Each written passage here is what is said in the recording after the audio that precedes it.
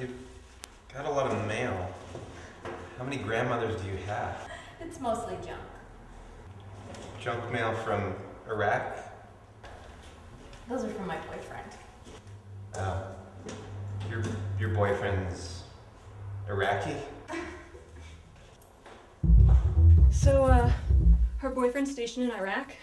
What branch? I don't know, the branch of destroying my hopes and dreams? You really like this girl, huh? Yeah, ever since she moved in, but it's hopeless now. She has a boyfriend. Let me tell you something about boyfriends. Hey, Frank. What the hell, Frank? I thought you changed the lock so you couldn't break in here anymore. Sorry, I sensed there was trouble. Boyfriend trouble. It has a very distinctive odor. Yeah, it's. Jenny, 208. Oh, I know. What's the problem? Boyfriend? Boyfriend that's fighting a war. Let's skip the exposition and concentrate on the fact. Fact one. Her boyfriend is fighting a war. Which means that the boyfriend is not here. Which means that she's lonely. Which means that she's hungry for the touch of a man. Any man. Like you. They're in love. He writes to her twice a day. Oh, I've read those letters. Not so much love, more guilt. Heavy guilt. And bad grammar. Wait, you go through people's mail? Because I care. Look, when my father bequeathed me this apartment complex on his deathbed, I promised him that I would look after these tenants as if they were my own. That I would be involved in their lives. Also, I'm not going to pay to read Us Weekly. I don't know. You really don't think they're in love? Maybe once upon a time they were, but now all they have is memories. When that Marine was deployed, all of him was deployed, including his heart. Maybe I'll think about it. I guess. Oh, yeah, good plan. Hey, while you're at it, why don't you think about when her uh, boyfriend, trained to kill, comes home? If, Laurel, if he comes home.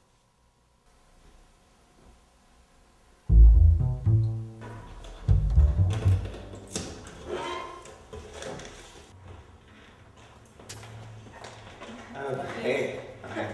By mail, what'd you get? Uh, the Notebook. Really?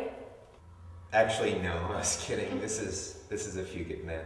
Oh, I heard that one was really good. I'd love to see it sometime. Really?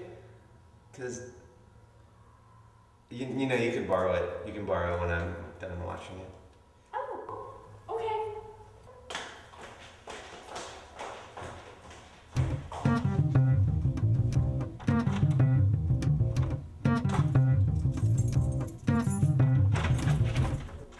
The? Hey, Mike. How's that uh, Netflix subscription treating you? What are you doing in my apartment? Changing the locks. Not that it matters to me. I have a master. But you, sir, need to earn your key.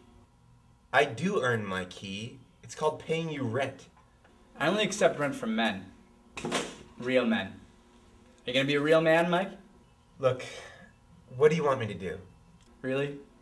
Very little. Pre crazy Tom Cruise will do the heavy lifting. Just sit back and reap the rewards. Look, I just don't think that. Thinking is what made you the man you are today.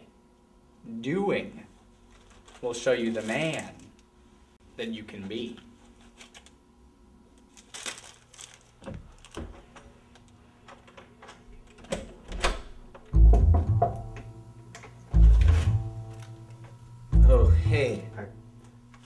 Just thinking that maybe we could watch uh, that movie we were talking about.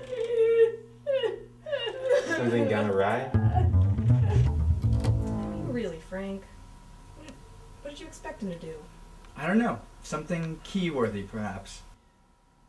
What would you have done? Mike, let me tell you something about double amputees.